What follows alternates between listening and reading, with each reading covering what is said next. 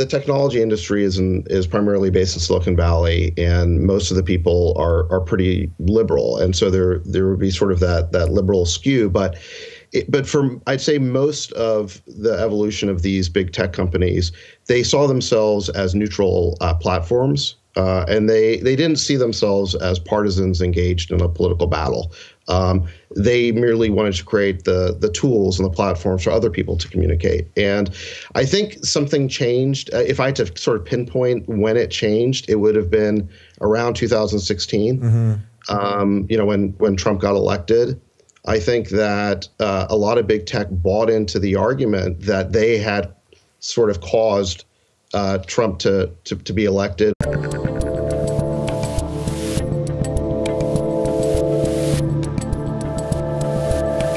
Dave Rubin, and joining me today is the former COO of PayPal, an angel investor in such companies as Facebook, Uber, and SpaceX, the founder of Craft Ventures, and a co host of the All In podcast. David Sacks, welcome to the Rubin Report. Yeah, great to be here. I'm glad to have you. You know, when I was looking through all your bios and Wikipedia, which I'm sure is all perfectly true and all that good stuff, there's a lot of stuff I could have pulled there for the bio, and I was thinking for the for my young audience watching this, like basically being part of all of those things kind of seems like the coolest thing possible. So, how does somebody get into all of that?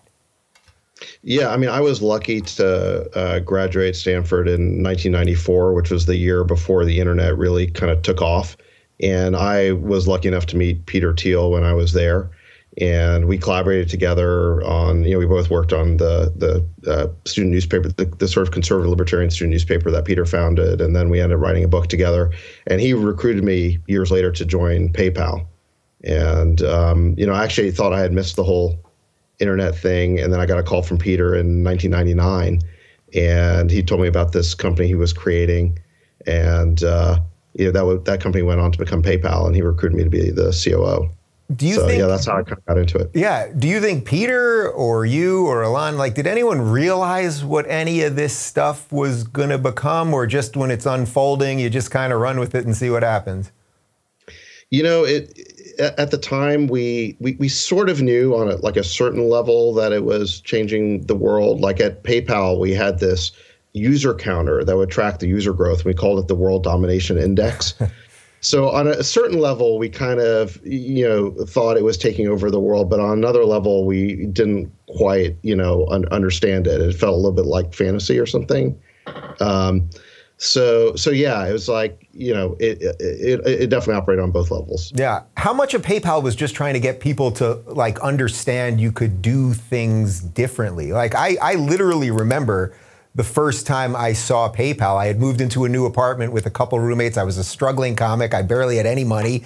And one of my roommates said to me, You got to pay me on PayPal for the rent. And I, I didn't even know what that meant. Like the idea that I could link a bank account to something online. And I don't even think we had Wi Fi yet. Like it was still wired to the wall. Like just getting people to like understand there's new ways of doing things. Like how much of it is just that? A, a, big part of it, and then the the other big part of it was just making it really easy to actually do it. So you know, we it, it's a lot easier now. We didn't have all the tools you know that we that we have now 20 years ago, and so just getting the product to be super simple. So you could put in an email address, put in your credit card number, and it would send the money and then you'd get it be able to take your bank account.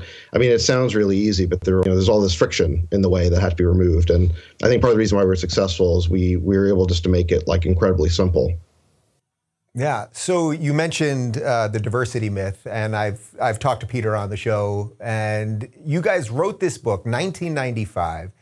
In essence, you, you wrote this at Stanford. You guys kind of predicted everything that was happening that's happening right now. Like really, the the idea that that sort of the the diversity of immutable characteristics would matter more than the diversity of thought which we now see just rampaging through all our businesses and institutions and the political sphere and everything.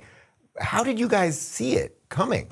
Well, we had we had been you know writing on the the Stanford Review, and Stanford was sort of the epicenter. That there was a famous protest in 1988 where Jesse Jackson led a led a, a, a, mob that was chanting "Hey hey ho ho Western culture's got to go." So Stanford was sort of the the epicenter for for a lot of that stuff. And um, so we were writing about it as, as student journalists in a way, and, and that book was an extension of the student journalism we had done.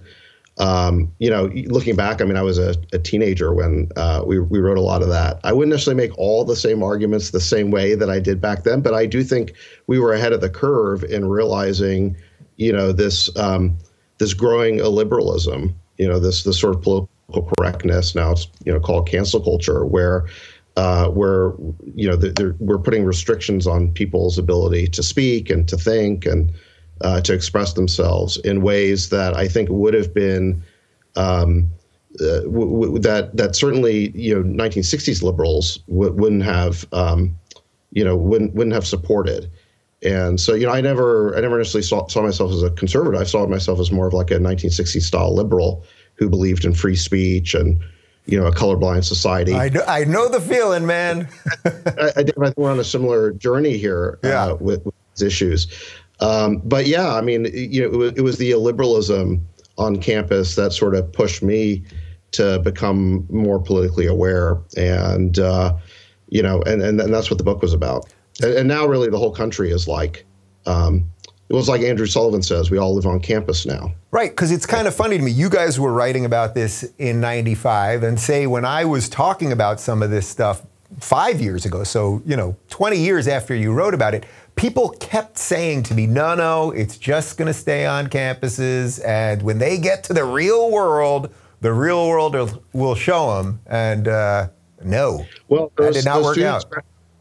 Those students graduated, you know, and uh, and they took those ideologies into the places where, where they went. And uh, so, you know, they took them to the, you know, a lot of those graduates went off to run school boards or to run, uh, you know, newspapers, the New York Times, and you know places like that. I mean, this is it's a very elite um, uh, philosophy or ideology that's being um, imposed, and it's it's coming from places like you know Stanford and other uh, Ivy League type type schools. Yeah. So you've been big on sort of the three topics that, at least for me at the moment, are are my big three topics, which are are big tech, COVID, and then California specifically, because I think there's COVID at a sort of national and worldwide level, and then California. So we'll hold that for a moment. But on, on the big tech stuff, you know, I, I, started talking about free speech a couple years ago, and then there was suddenly this feeling that we were kind of being censored, but we couldn't figure it out. Then we started hearing phrases like shadow banning and deboosting and algorithmic fairness, all of these things. And I think one of the things that people wonder about is how this all infected all of seemingly all of the big tech companies. Do you have, you have any theories on where it sort of started in there and, and how it became so inclusive? Yeah, well, I think you know the the technology industry is in, is primarily based in Silicon Valley, and most of the people are are pretty liberal, and so there there would be sort of that that liberal skew. But it, but for I'd say most of the evolution of these big tech companies, they saw themselves as neutral uh, platforms, uh, and they they didn't see themselves as partisans engaged in a political battle. Um, they merely wanted to create the the tools and the platforms for other people to communicate. And I think something changed. Uh, if I had to sort of pinpoint when it changed, it would have been around 2016. Mm-hmm. Um, you know, when when Trump got elected.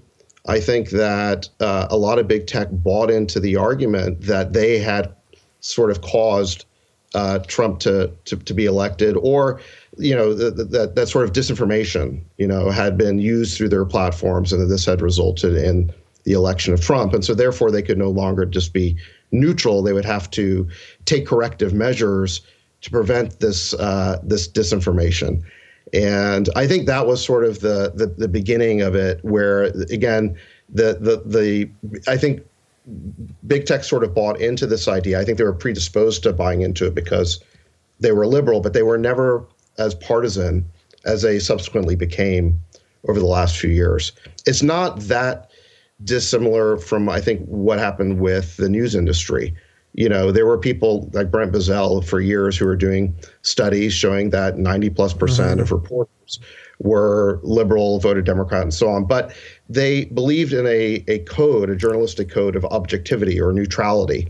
and somehow, you know, over uh, over the last four years, Trump was perceived as such a threat that you know the media decided that it was more important to stop Trump than to live up to this sort of this code of of neutrality. And I think something similar happened in, in big tech as well. Yeah, has it been tough for you as someone that isn't purely a leftist, regardless of how you fully define yourself? But you're not. You're clearly not purely a leftist but to be in San Francisco and, and still be around a lot of that. I mean, right now we know that a ton of people, the whole the whole biz, the whole industry is fleeing to Miami. Miami's looking pretty good right now to have some open conversations.